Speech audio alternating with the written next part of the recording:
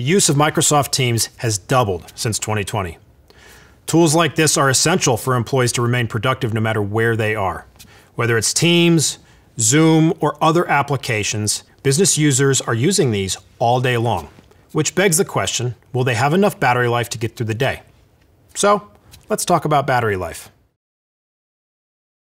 Not long ago, 8 or 10 hours was considered acceptable for battery life. But expectations continue to rise. And as the applications of today deliver better experiences, they demand more compute power. This makes the task of delivering great battery life more challenging than ever.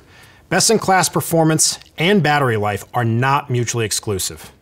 If we design our systems correctly, we can deliver all day battery life while also delivering great performance for a great user experience overall.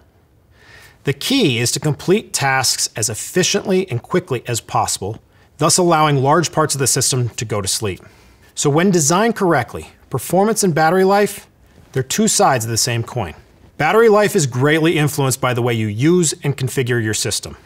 Different displays, a backlit keyboard, the drives or memory that are in your system, as well as the applications that you're running, they all impact your battery life.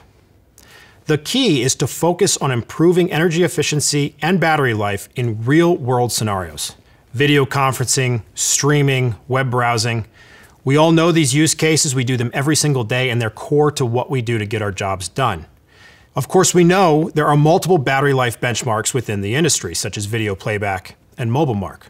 But by focusing optimization for battery life on real world scenarios, we see improvements in the benchmark scores while also delivering tangible improvements to the user experience.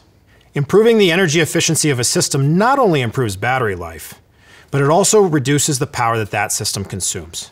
We know that organizations increasingly have goals tied to sustainability.